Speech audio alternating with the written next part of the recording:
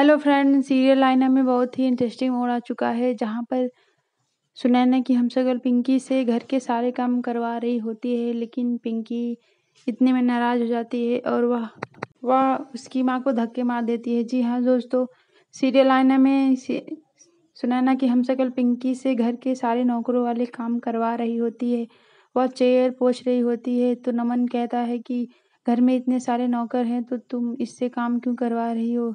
इतने में उसकी माँ आ जाती है और उससे कहती है कि तुम ये सब काम मत करो।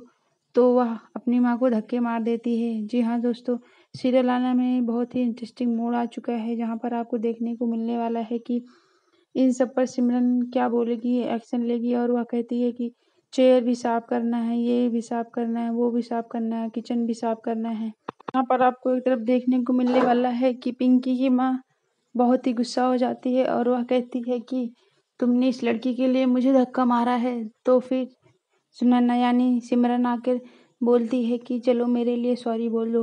तो पिंकी अपनी माँ से सॉरी बोलती है। यहाँ पर ये देखना काफ़ी इंटरेस्टिंग है कि उसकी बेटी पिंकी सिमरन के कहने पर ये सब काम कर रही है। खुद की बेटी अब सिमरन के कहने पर चलने लगी है। यह देखना काफ़ी इंटरेस्टिंग हो रहा है।